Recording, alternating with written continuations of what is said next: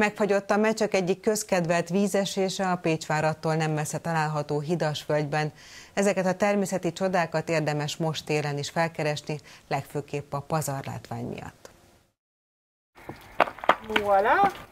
A mecsek gyomrában néhány kilométerre Pécsvárattól található a Hidas völgyben. Ez a szemeggyönyörködtető jéggédermet vízesés.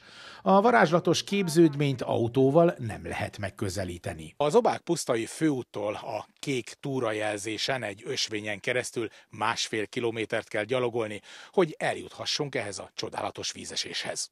A túrázók csodájára járnak a csak nem 5 méter magas jégoszlopnak. Gyönyörű. Csak rá kell nézni. Természeti csoda.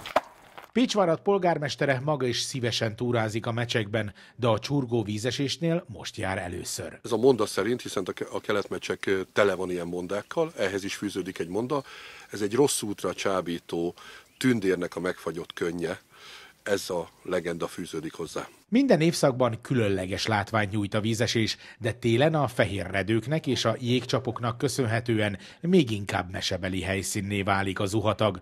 Az előrejelzések szerint a jövő héttől felemelegedés várható, így már csak a héten lehet megnézni a csurgóvízesést ebben a téli fagyos pompájában.